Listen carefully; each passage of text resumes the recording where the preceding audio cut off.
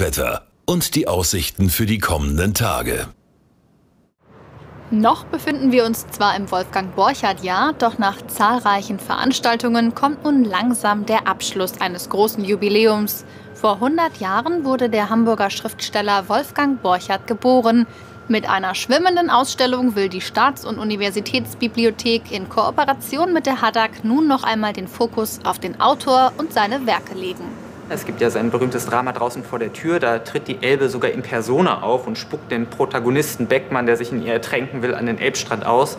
Und es gibt noch einen ganz schönen kurzen Prosatext. Die Elbe hat drei, vier Seiten, kann man in zehn Minuten lesen.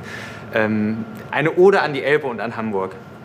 Als Ergänzung zur Dauerausstellung Dissonanzen, die in der Stabi im Mai eröffnet wurde, gibt es nun also auch hier an Bord viele Möglichkeiten, den Autoren kennenzulernen Postkarten, Familienbilder, Zitate und Infotexte stehen den Fahrgästen bei jedem Wetter zur Verfügung und so wird es morgen. Morgens bedeckt 4 Grad. Mittags bedeckt 10 Grad. Abends bedeckt 7 Grad.